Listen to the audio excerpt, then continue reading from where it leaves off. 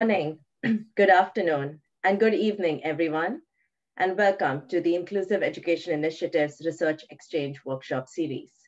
My name is Deepti Samant Raja, and I'm a social development specialist at the World Bank. I also work on the Inclusive Education Initiative, and this workshop is a part of IEI's broad portfolio of activities to promote disability inclusive education. Before we begin, I wanted to bring your attention to several accessibility features that we have available for you today. You should be able to see the sign language interpreter spotlighted on the screen with the speaker who is presenting. We also have captioning available in English. If you would like to access that, please go to the bottom of your screen. There is an icon that has CC for closed captioning, which you can click on and select Show Subtitles. You can also select Show Full Transcript if you prefer to see that running on the right side of the screen. You can also follow the link we will provide in the chat box for streaming captions. We want to let you know that please to use the chat box to post your questions, comments, reflections, and information. Let's use it to make most of this workshop we have colleagues moderating the chat and we will do our best to address your questions and your concerns. Finally, this seminar is being recorded live. All right. The IEI is a multi-donor trust fund on disability inclusive education, which is overseen by the World Bank with support from the Norwegian Agency for Development Cooperation, NORAD, and the UK government's Foreign, Commonwealth and Development Office, or FCDO. The IEI invests in catalytic technical expertise and knowledge resources, which assist countries in making education progressively inclusive for children across a spectrum of disabilities. The IEI also supports development of global knowledge products, research, documenting evidence of practice, as well as innovations in disability inclusion. The Research Exchange Workshop Series is a very important activity for the IEI. It was conceived based on the growing evidence that the current status of research in the field of disability inclusive education is at best patchy, with insufficient evidence on school access, participation, learning outcomes, and effectiveness of implementation programs, particularly in low and middle income countries. In parallel, there is an increasing acknowledgement that researchers based in African and South Asian countries have limited pathways and opportunities to undertake and publish their research. This significantly impedes their ability to contribute meaningfully to the, to the disability inclusive education agenda, resulting in significant over-reliance on discourses and contexts from high-income countries that are then used to shape international and national policy formulation. Therefore, this workshop series, through this workshop series rather, we aim to identify the research priorities in the field of disability inclusive education as well as to understand the challenges and the barriers faced by scholars in African and South Asian countries while researching and publishing. We want to promote collaborations amongst universities in the sub-Saharan African and South Asian regions while supporting to increase the visibility of scholarship from low and middle income countries. We hope that this workshop series leads to the cultivation of a cohort of researchers that support disability inclusive education with the IEI and beyond. Today, we kickstart the first of our series of four workshops, uh, thanks to all of you joining us from the East and Southern Africa region. We have amongst us 35 researchers from universities across the region, representing 10 countries and 26 universities. Collectively, this group is truly diverse with 37 spoken languages, including four sign languages, and a wide range of experience in conducting research in disability inclusive education. It would be great to know all of the participants. However, in the interest of time, we kindly request you to please go ahead and introduce yourself in the chat box rather than um, an oral round of introductions. I have to first, I have to start by also saying that this workshop would not be possible without the collaboration of our knowledge partners, the University of Cambridge and the University of Gondar. We are grateful for their commitment and support. We are also joined by members of the Candor Research Group from University of Cambridge who are supporting the workshop as co-facilitators. And we also have Jorge Martin, who is illustrating the workshop live. A big thanks to you all. We couldn't do it without you. We know that this workshop series is taking place under unusual circumstances. And hence, I want to especially thank you all for bringing your extensive experience and knowledge to this space and for engaging in our LinkedIn forum. We will bring in the perspectives and comments from the forum into this session. We have an excellent interactive and participatory agenda planned for the next two hours. I'm looking forward to learning from everyone.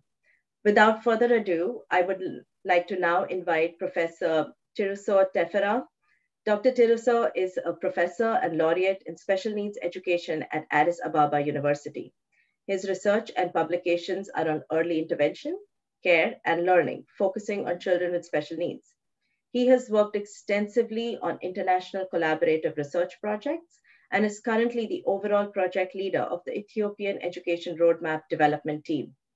Dr. Tiruso, I hand over to you now. Thank you very much. I would first of all like to welcome all participants. It is indeed an honor and a pleasure to be part of the Inclusive Education Initiative work, workshop series. Please permit me to seize this opportunity to extend my gratitude to the World Bank and the funders, FCDO and NORAD for providing such a platform. I am here to share my experience on the policy and practice of inclusive education in Ethiopia vis-a-vis sub-Saharan African countries. Uh, policy directions of education for persons with disabilities in sub-Saharan Africa. Following UN Convention on the Rights of People with Disabilities, the standard rules on the equalization of opportunities for persons with disabilities, and the Salamanca Framework for Action, which paves the way towards inclusive education, almost all Eastern and Southern African countries came up with policies of inclusion. The government of Ethiopia in 2006 issued the first national policy indicating that the future direction of education for persons with disabilities in the country is inclusive. After six years of experience, in 2012, it was the policy was revised and the present special education policy was in place. The overall objective of the new strategic framework was to build an inclusive education system which is accessible, equitable to children, youth, and adults with disability in the country. Dear participants, it was hoped that such a policy will enable persons with disabilities to develop their potential and come out, out of the long-standing dependency syndrome and lead an independent life. Indeed, in the Ethiopian context, among others, considering its economic viability, human rights issue, the psychosocial developmental benefits, as well as the positive, the positive effects on the bridging attitudinal gaps were the main rationales to move towards inclusive education in the country. These reasons were, were more or less similar for other sub-Saharan African countries to move forward towards inclusion. Dear participants, along this line, with the already existing special schools, inclusive schools have emerged in the different corners of the country. Even though the policy documents show the political will to move towards inclusive education, experience suggests that access and equity still remain a serious challenge across the different levels of the educational system in the country. The current annual statistics report of the Ministry of Education reveals that participation rate at pre-primary is 0.9, primary 11.1, and secondary 2.8, which seems up to be 15% of the children with disability to have access to education. That means 85% are still out of school. These statistics covers those served in the emerging inclusive schools, the new reversed inclusive schools, and the already existing special schools. Dear participants, those who, are, who are enrolled in the inclusive schools do not as such gain the necessary professional attention and assistance in the so-called inclusive settings. Among others, the programs, including the curriculum, teaching learning process, assessment method, are found to be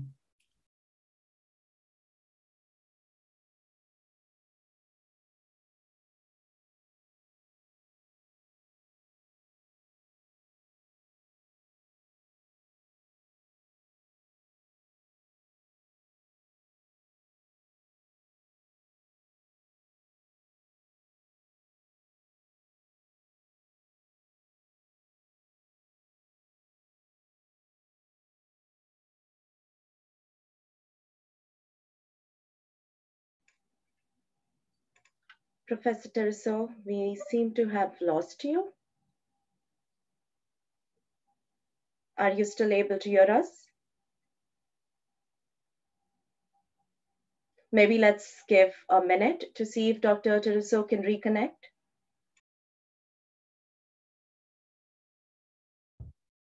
I see his screen, but you're muted. You need to unmute yourself. He's he's back. Yeah. Uh, sorry. Can you hear me now? Can Please go me? ahead. Yes, yes, we can hear you. Yeah. Sorry. Finally, dear participants, I would like to highlight opportunities, challenges, and future areas of research and intervention to enhance quality of inclusive education in sub-Saharan Africa. Opportunities, challenges, research, and intervention areas. Opportunities. Actually, uh, national policies are very positive, encouraging, and international conventions are taken as opportunities. Uh, challenges, attitudinal problem, public, the attitude of the public, the general public, as well as the attitude of the schools, the school leaders, teachers, managers matters a lot. Absence of trained personnel in the field of inclusive education or special needs education. Lack of screening and assessment tools at the entry point or placement. Absence of coordination and teamwork. Sorry, lack of resource and funding, inadequate funding. Uh, these are the major challenges. The research and intervention areas, which I have uh, six you know, major areas here. The first one is professional development, which include teacher education program, both pre-service and in-service. We need to revisit our teacher education program, how far they include the uh, education of inclusive education. Teachers, would-be teachers need to be prepared to work on inclusive setting, and therefore teacher education programs need to dwell on inclusion theoretically as well as practically.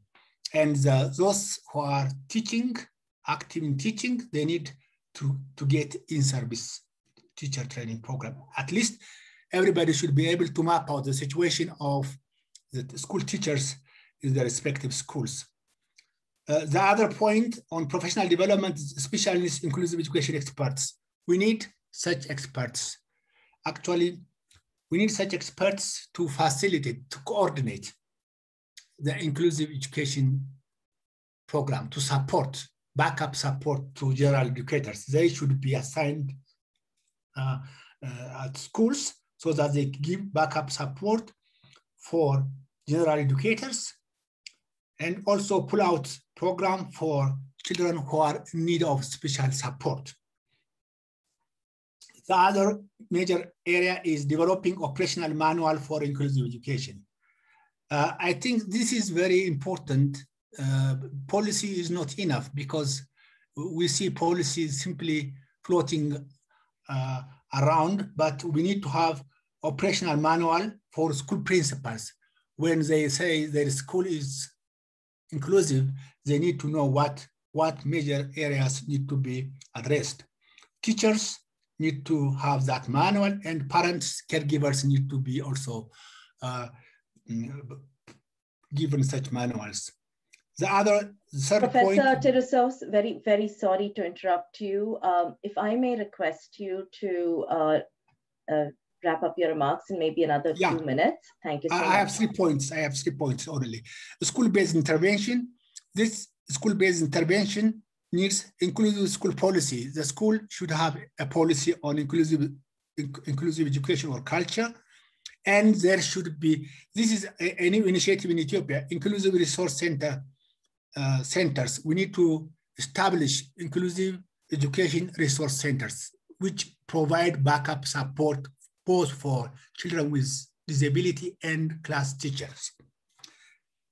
And there we can do assessment, conduct school-based research, experience sharing amongst schools, enabling school, creating enabling school environment. The other one is school parent and community engagement. This is very critical. Without it, we cannot promote uh, quality inclusive education, training and, and exchange of experience, awareness raising, resource mobilization. The fifth one, coordination and collaboration among relevant government and non-governmental actors and national associations of persons with disabilities. This is very critical.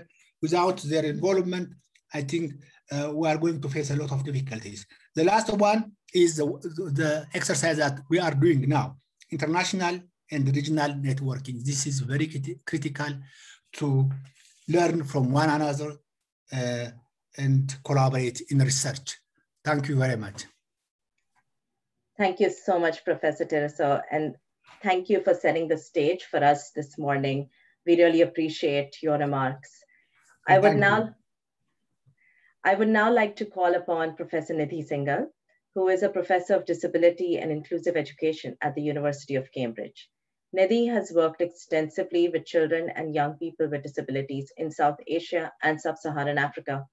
Her research has examined the educational experiences of children with disabilities, the quality of teaching and learning in mainstream classrooms, and the impact of schooling.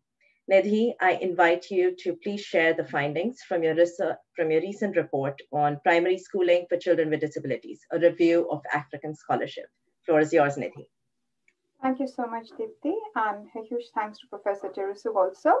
I am going to start by sharing my screen and just welcoming everybody on my behalf too. What a pleasure to see so many familiar names. Um, and I'm really looking forward to the discussions. So I have around 10 minutes for this presentation and I'll try and wrap up a little quickly. I'm going to time myself so I'm not over time. But um, as Deepti has very kindly um, said, this is a review of African scholarship. I do realize that the report was posted very kindly by Anna on the LinkedIn website for the um, workshop itself. So some of you might be familiar with some of the findings. I'm going to offer this as provocations to the discussions later on that I know we'll be having in various breakouts. So just some headline figures that I'd like to go through. So the whole report draws on something called the African Education Research Database. Now, the AERD is a catalog of social science research that brings together articles published in internationally recognized journals. It focuses not just on education based journals, but also draws on education related studies in other fields such as health, development, and so on. So it's a really comprehensive database to really see what kind of scholarship is emerging in the sub-Saharan African context. Because what it does, it includes all the journal articles which have been published by at least one researcher based in the region. So it's a very comprehensive database, though I must put a caveat here, it does not include research emerging from South Africa. Okay, but it uh, covers other 48 countries in the region.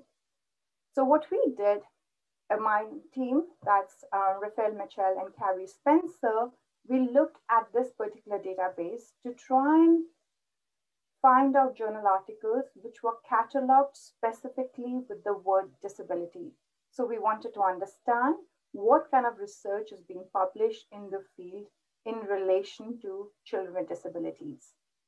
A caveat again here, these are all to do with English language articles. We did not review for French, Portuguese, um, based articles which are in the database. We only focused on English language due to our own limitations with language.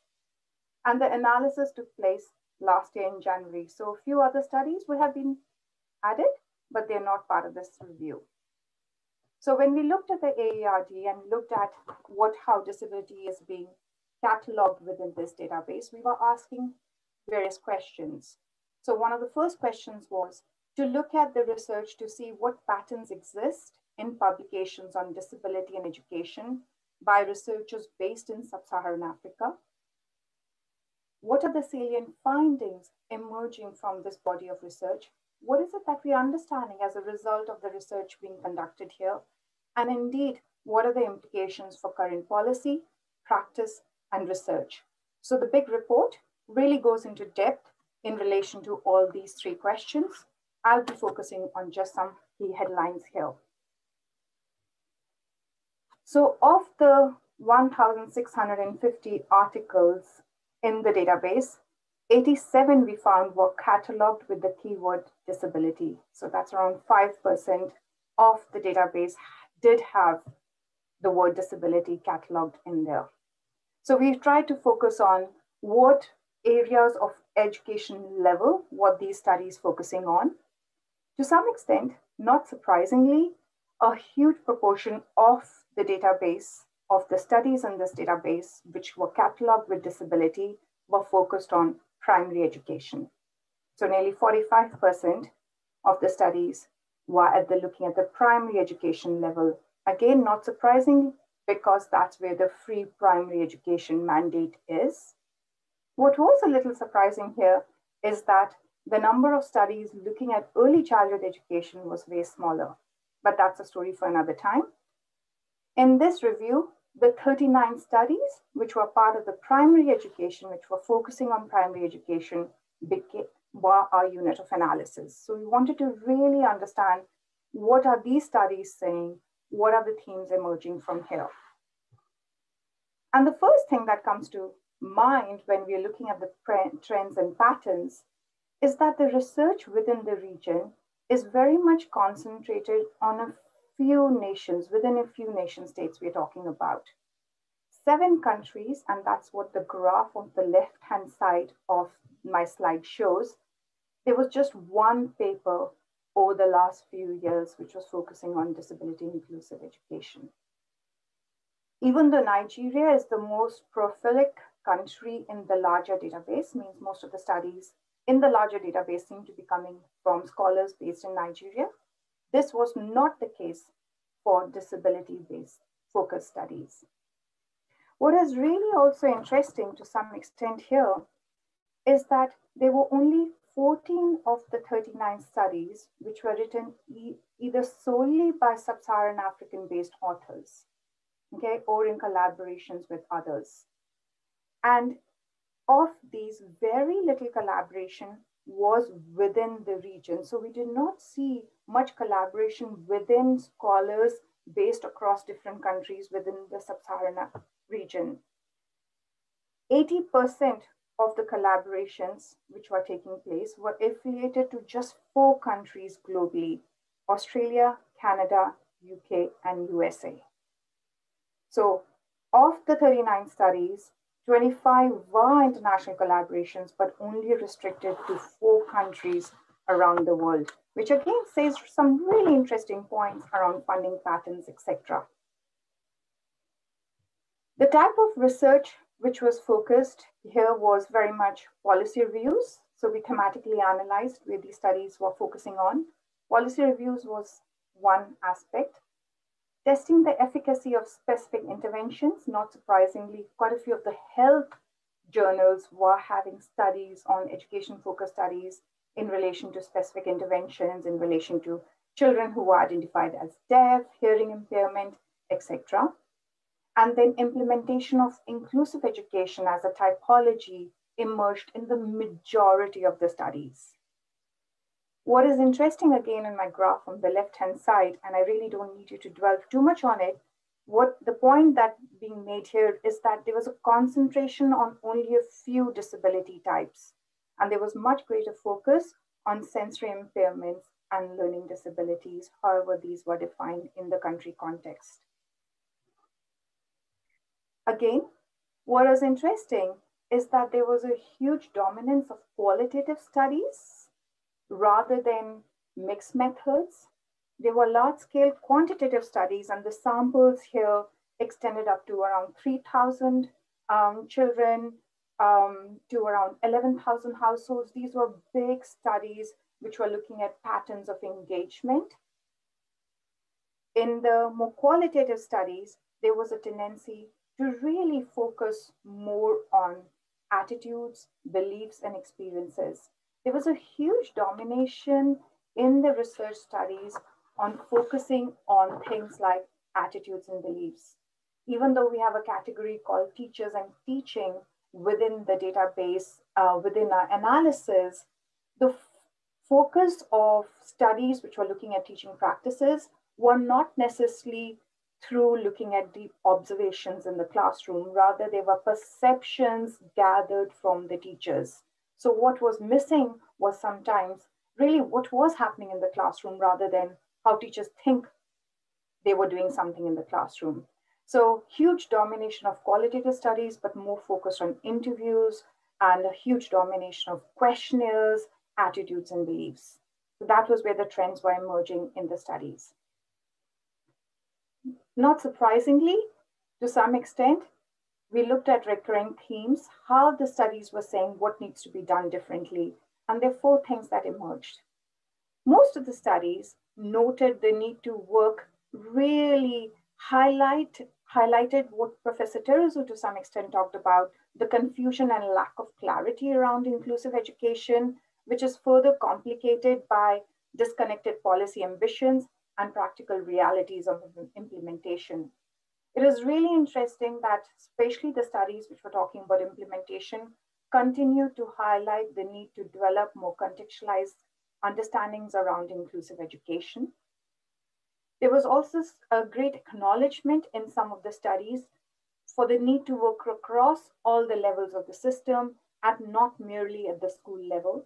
So there was a lot of discussion in some of the studies where scholars were arguing to look at the overall programs and policy frameworks. What is really interesting for us was the significant exclusion of voices of children with disabilities. Only five studies actually had some quotes from children with disabilities themselves in terms of their experiences. Otherwise, the default position tended to be to rely on parents and teachers to understand how they thought children were doing in the classroom. And finally, all the studies to some extent were making a case for the need to identify and adopt local strategies in moving forward in inclusive education. There were a few studies which took on a very strong need for post-colonial approaches, but they were not very explicit in what it meant in relation to the practice. So just some questions we pose in the report, and this is my final slide, is a greater reflection on whose voice counts given the domination of international collaborations, we wondered who was driving the research agenda, not just in terms of posing the questions, but in terms of the use of certain methods and prioritizing of certain stakeholder groups. Where and how do partnerships manifest? We were rather surprised by the lack of Southern South, South collaborations within the sub Saharan African region. And indeed, finally, what are the theoretical and eth ethical underpinnings of current scholarship? There was not much of a discussion around the theoretical underpinnings, which in many cases was borrowed again from the Northern scholarship, rather than a deeper engagement with what it meant for the African region as a whole. And indeed, a deeper engagement with ethical issues around knowledge generation and knowledge dissemination. So I'm going to stop here.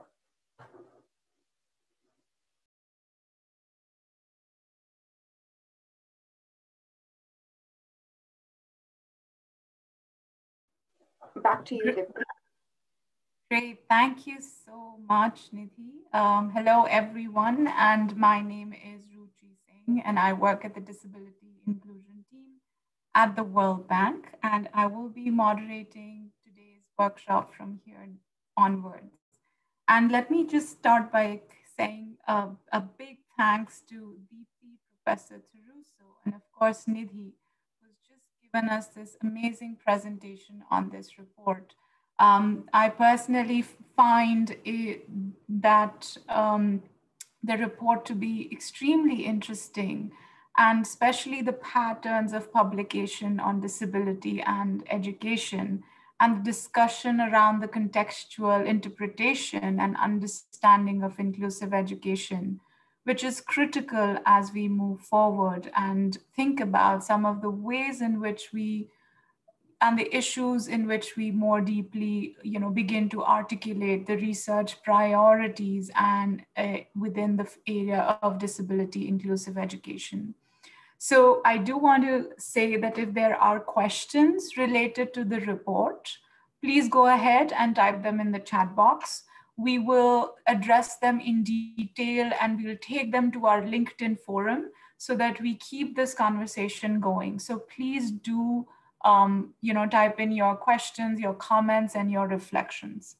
With that said, and I'm being very mindful of the time that we have with you all today, I want to, I think it's a good moment to segue into the next session for the workshop, which is a breakout session. Uh, we will be dividing everybody who's present with us today into, uh, into five breakout rooms where we will have the opportunity to discuss in detail some of the emerging themes which have started coming out from the report but just to pick up on those threads and then discuss those in detail. Um, nobody, you don't have to do anything from your end. You will be automatically transferred into a breakout group. Um, and for this particular breakout session, we will be reflecting upon two questions. Um, the first one is what challenges are faced by African scholarship in conducting robust research around disability inclusive education? That's our first question, which we will be discussing, followed by the second one, which is what should be the research priorities in disability inclusive education? So in order to do this, each group will have a session facilitator and a co-facilitator um, your facilitators and co-facilitators will guide the discussion. Um, just as a reminder, please do remember to choose one group representative who will present the summary of the discussion from your group to the larger group. We have around 25 minutes to discuss this. And um, I now leave uh, it up to Anastasia to divide us all into the five groups. And just one note to the facilitators, please remember to record your respective sessions by pressing the record button. So Anastasia, over to you. I'll let you do your magic.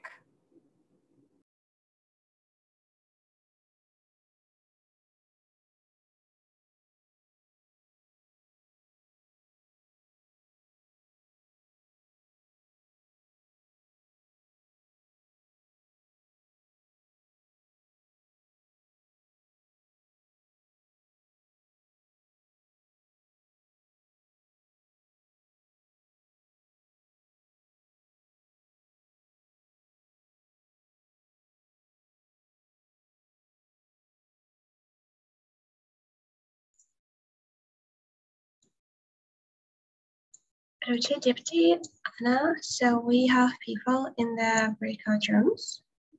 Joining room two is full. Room three is fine too. Room four is fine. Room five is fine. And the rest uh, who need assistance are here with us the Inter International Sign Language and the captioner. Hi, Anastasia. You need to push me also into a group. I'm supposed to be facilitating one. Sure. Um, Nidhi, group one is the bigger group because here we have international sign language interpreter and the captioner. Oh. Mm -hmm. I'm sorry. So is this the group I'm supposed to be facilitating? Yes. Excellent. Okay. Oh, well, hello, everybody. I am very sorry. I didn't realize that this is where I am. Can I just check if uh, is here? Hello, Anastasia. Yes, Nicholas? Yeah, I'm, I'm, here, I'm, I'm here, like in, in the Nidhi's group and everybody is here, I think. Yes, it, in, in, in what? Um, no, I can Yes. hear Nidhi.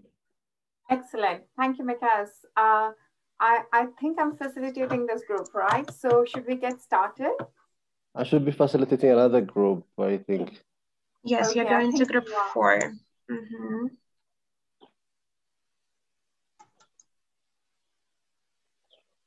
Okay, I am going to get us started. This is group one. And um, thank you ever so much, everyone. It's really good to see um, everyone here. If you are still here, then means you're going to be part of this group one. I just want to check again, is Telanka here? Because Telanka will be Yeah. doing note taking for us. Yes, Nidhi, I'm here. Excellent. Hi, Telanka. Well, um, can I also request, because this is something Ruchi said earlier on, there would be someone from the group who would be required to give feedback to the larger session, um, to the larger group when we all come back from our breakout groups. Is there a volunteer here? Okay, Emma, thank you so much. That's very kind of you. Really appreciate that. And Anastasia, I can see Stephanie is also here. I think she needs to go into another group for note-taking purposes. Yes. Okay, Stephanie, do So- you know which group are you, are you supposed to be? Yes, group two, please. Sure, one second. thanks, Stephanie. Thank you. Okay, so the ones who are here are part of group one. My name's Nidhi, and I'll be facilitating the two questions which have been posed. Um, could I please uh, request you to, um, you know, you can introduce yourself within the larger chat if you write your name, etc. That'll be fantastic. I'm going to spend 10 minutes on one question and then move on to another to the second question. So the first question that we've been posed is what challenges are faced by the African scholarship in conducting robust research? So I would welcome reflections from the participants in the group. If you'd like to highlight any challenges that you face, you're aware of, etc.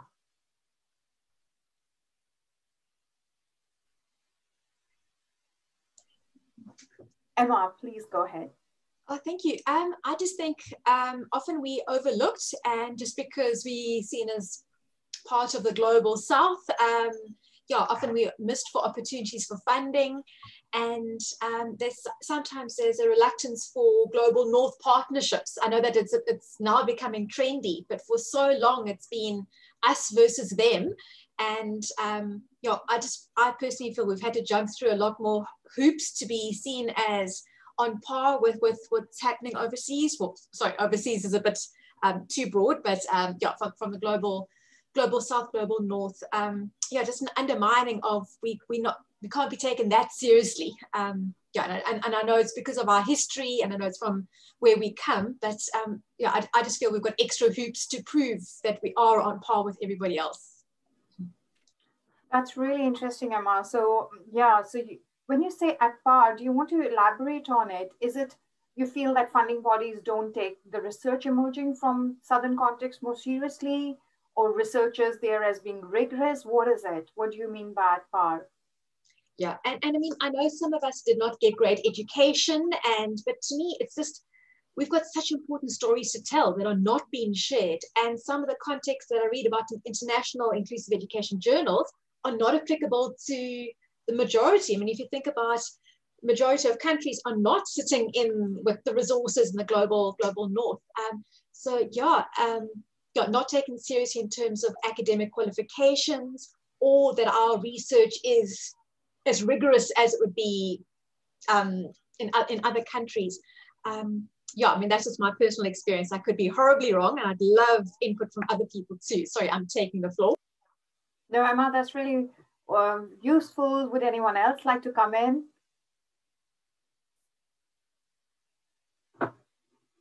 Hello. So, uh, yeah, go ahead. Please go ahead. It's best to just unmute yourself and um, go ahead and say something. I can see uh, someone did unmute themselves, and then I have Jority. I'm sorry if I'm making a hash out of your names, but would you like to come in?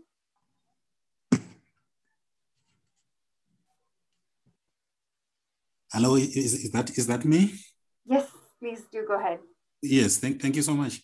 Uh, I think I would agree with what Emma was saying, but give it a slightly uh, different slant where I would say perhaps the, the research gaps uh, from the global north tend to be different from those from the global south. So it's a bit more difficult for someone from the global south to publish in a, a world journal. It's world in quotes because it's basically global north focus. So if, if you are not following the, the, the gaps from the global north and you're coming from the south, it will be much more difficult for you to, to, to, to write that which will interest the editors and the reviewers who will basically be largely from the global north.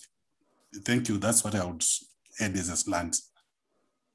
Thank you, Martin. I think that's a really interesting point again. So you talked about, so Emma was talking about academic qualifications and rigorous, and you're talking about how publishing itself is, you know, very much construed towards global northern understandings. I can see two more hands. So, Ditsi? Um, yeah, Dorothy, this is Goretti. Yes, thank you. Uh, this is Goretti from Uganda. Um, my network, I'm sorry, my network is quite low, so I'm not going to put on the video. But uh, anyway, um, uh, the, the challenge that have, I have really seen with the re research is that there is a tendency to have research which is a one-off. We, we, we don't have tracer studies. We, we need to have studies that, yes, you have done a study uh, about uh, children with disabilities or persons with disabilities, inclusive education, and then what happens in the next five years. So we need to have studies, tracer studies that will keep on following up what is happening, not to not to do research for just as a one-off and then we just go like that. So we don't have a lot of studies doing follow-up tracer studies, long uh, long-term studies. Thank you yeah, very much. Thank you, Goretti. That's such a good point about longitudinal studies and following children. Uh, we tend to do one-off studies, and especially so important when you're thinking about issues around inclusive education. So thank you so much for that. I've seen a few more hands up. Um, uh, Ditsi? Hello, hello, yeah. how are you? I'm very well. Thank you very much. And I agree with the previous speakers with regards to research from the global south, but my feeling is I think for a long time, the the level field for research between the global south and the global north has never been well, the playing field has never been leveled. And I think I've posted in was one of my questions there to say, even if research is being conducted in the global south, the global south researchers, they seem to play a second fiddle in the sense that the way funders, especially from the global south, structure um, the issue of PIs is always somebody from the global north. And my question is, are they not looking at uh, researchers from the global south as potential PIs, what, what message are we sending? Because the research is being conducted in Global North.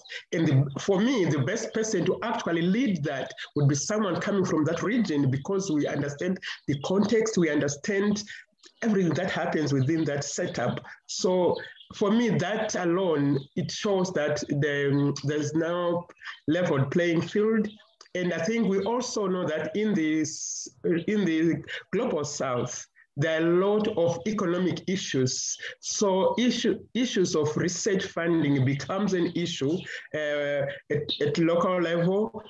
And hence, most of research funding, you find that you it's, it's more from the global north, which unfortunately, again, sometimes they kind of set the agenda, making it very difficult for, for the global researchers.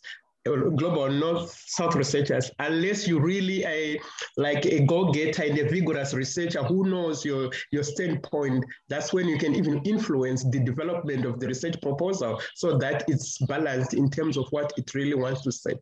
Thank you.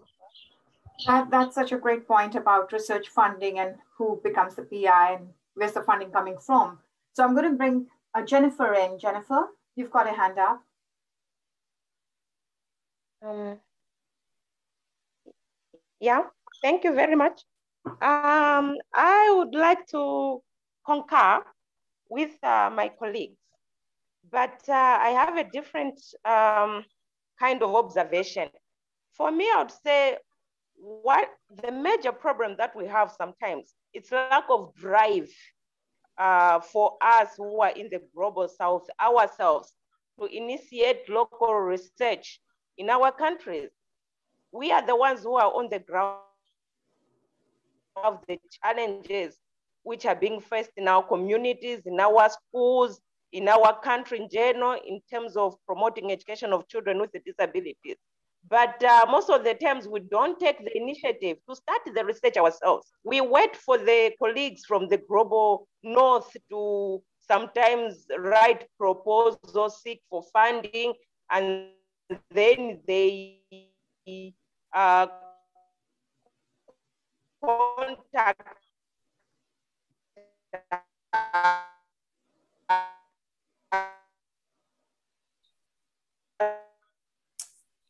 to partner with them.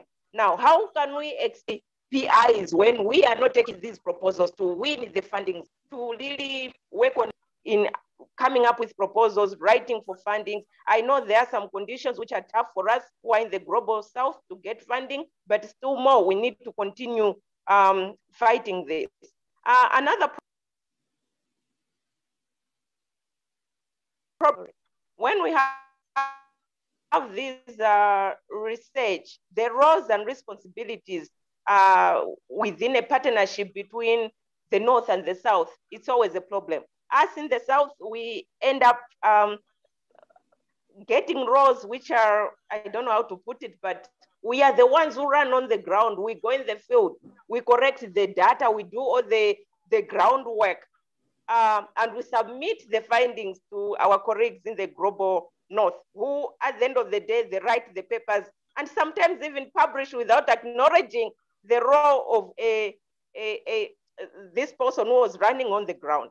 So we really have uh, serious problems which we need to consider if our research is to be um, acknowledged and published uh, the way it's supposed to be. Thank you.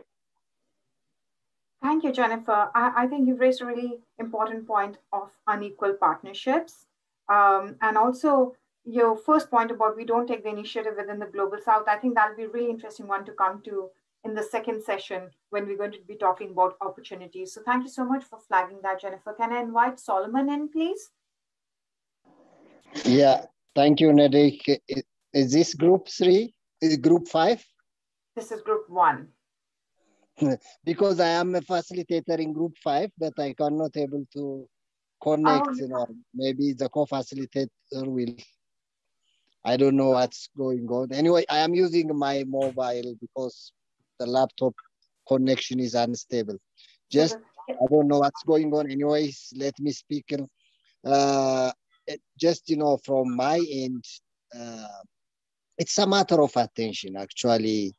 Uh, scholars uh, in, in Africa, especially in East Africa, they give due attention, more focus on those research areas which have you know, uh, a public health priority. I know that this is also a public health priority, but the challenge is, you know, it's from the government should give due attention as a public health priority and invest, you know, research grant or create a co-partner or collaborator out, outside, you know, the country who can uh, support the area of inclusive. This is one of the basic challenges.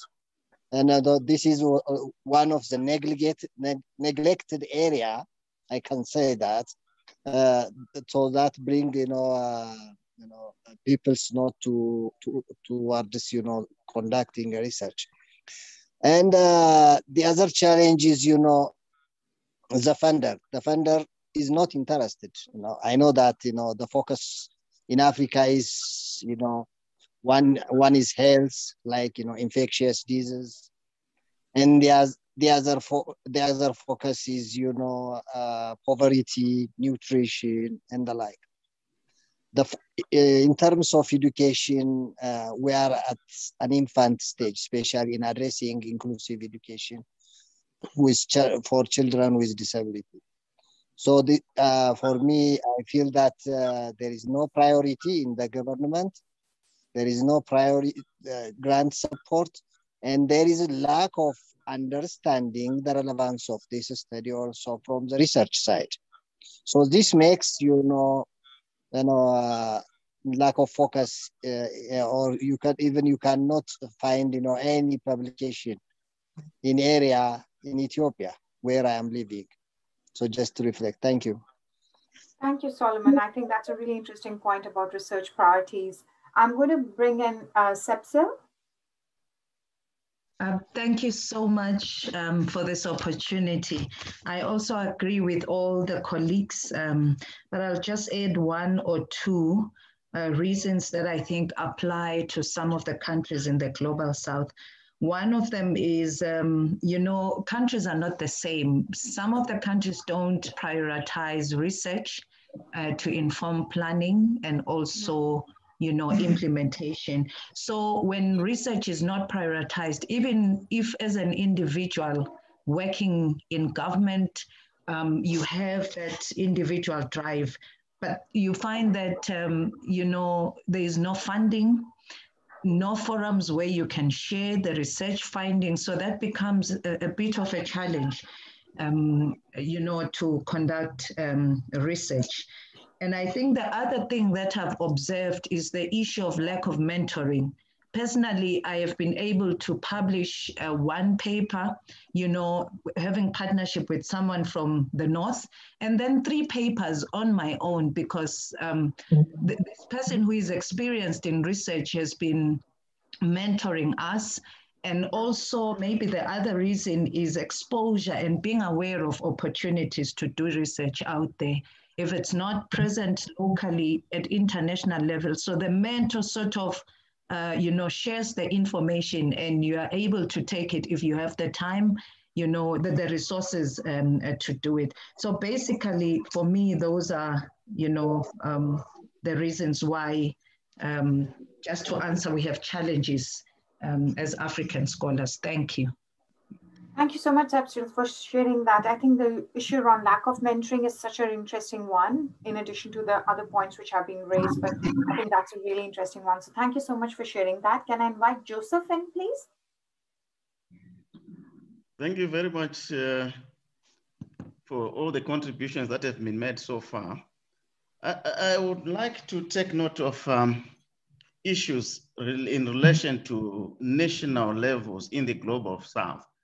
I realized that, um, you know, while disability issues is now actually commonly referred to uh, internationally, you will find that in the global south, it largely remains theoretical, just on paper.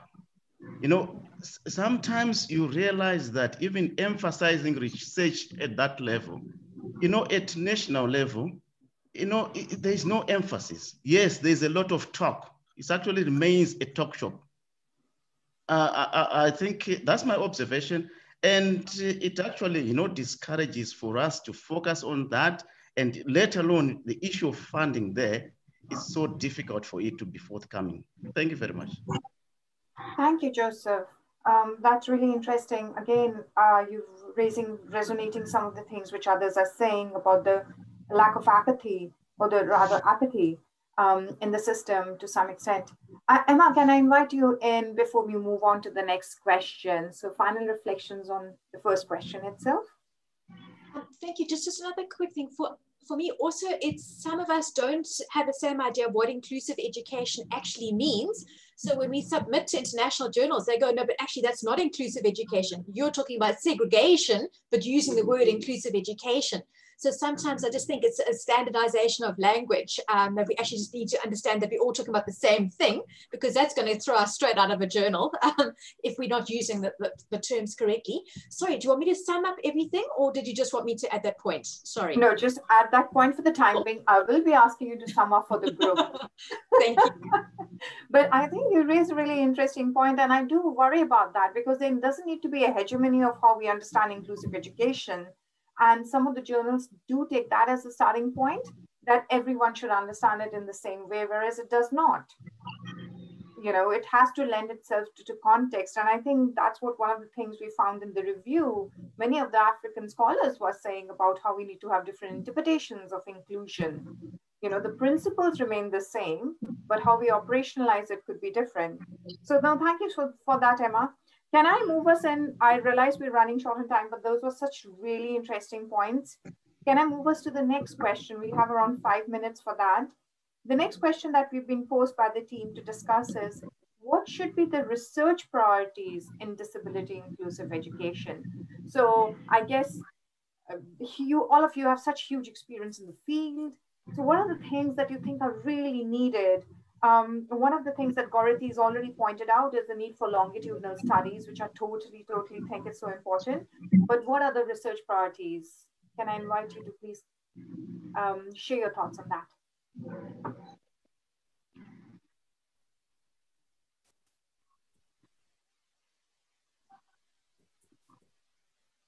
Gorethi, is your hand up for the new question or is it leftover hand?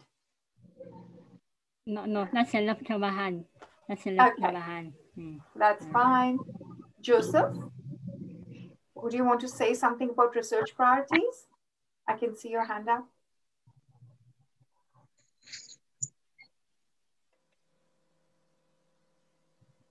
Maybe. I, I have, sorry, I've already made my contribution. Okay, okay. Um, Calista, I think your hand went up now. There are few leftover hands, so I'm getting confused. yes, uh, thank you. Uh, for me, I think um, you know, in our, our global south context, the role of the family and the community is very critical because you find that for most children, as much as maybe the policy framework is um, being improved and the schools are trying uh, to make an effort, if the home front does not understand the need for that child to be included in school, really be um, doing what other kids of that age are doing, it can be very problematic.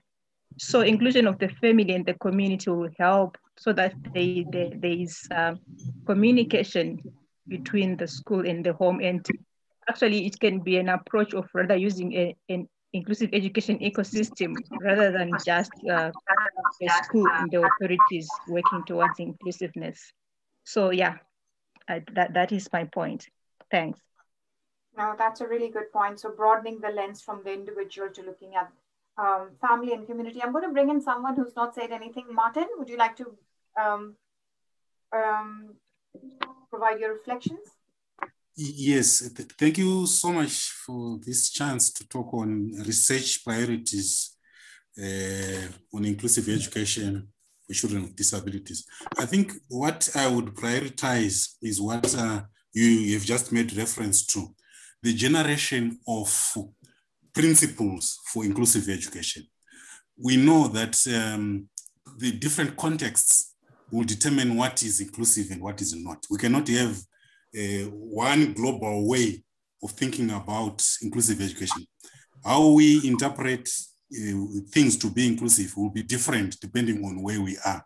But I think we need to be able to generate basic principles about what is inclusive education. I have here in mind the example of uh, segregation versus uh, inclusive education where it is generally considered that if you are in a separate school for children with special needs, automatically you are segregated. And I'm saying this need not be true if you look at the example of uh, children who are deaf and need sign language. We, we, are saying in a special school for the deaf where they have a critical mass and they have specialist teachers who can sign, they can be included. So we want to draw from that a principle that defines inclusive education rather than looking at places. Are they in a mainstream school or in a special school? So we, we need to prioritize research that draws such principles so that they are uh, more understood. Thank you so much. Thank you so much, Martin. I think that's a really good place to stop. And I can see other people are coming back to the main uh, room. So the group one, the ones who've not had a chance to say any, um, wanted to reflect and have not had a chance to share their thoughts with the bigger group, could I just ask you to put it in the chat, please? And thank you so much for the discussions. I'm going to stop here. And I think Ruchi is going to step in.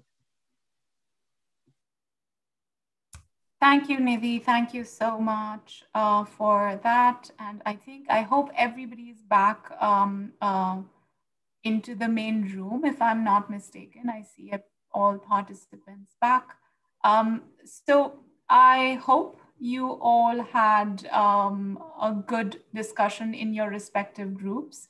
Um, and um, there were some interesting conversations. Certainly, in the group that I was there, there were some really interesting insights and conversations.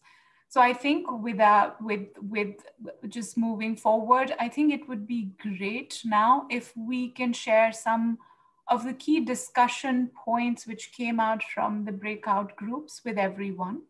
Um, I hope everyone, every group was able to appoint a session representative and I will just call upon um, the session representatives now uh, one by one to sh share the key points from your discussions um, uh, with the larger group. And you will have around two minutes uh, to do that, very short, very crisp. Um, so, um, so please, uh, please kind of, you know, come forward. You can put your video on and so that everybody can see you. You can introduce yourself and the rest of the members in the group uh, and just share in two minutes what your um, key points from the group were. And for all the other participants, I will uh, request you to share their comments, reflections, and questions in the chat box as usual. So uh, let's get this kick started. Can we please have the representative from group number one, please?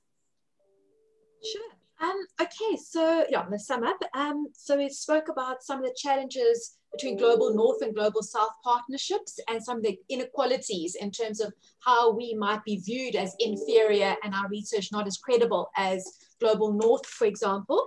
Um, also looking at longitudinal studies. We don't have as many, but I'm going to talk about that when we get to our priority areas as well. Um, and um, also just looking at economic issues. Many of us don't have the funding, our institutions don't have the funding, um, so we have to rely on partnerships with Global North. But then sometimes some of our colleagues were saying that then sometimes the ownership, so we go do the field work, we do the interviews and everything, and then the, the data gets handed over, and then sometimes we're not acknowledged for as being involved and yeah, and, and that can be quite challenging. Um, also, um, yeah, just, just uh, speaking to unequal partnerships there. Uh, research priority areas as well. Um, sometimes it's more focused on health than inclusive education. Um, different countries have got different priority areas. Um, and also some of us don't have um, a support base, um, mentors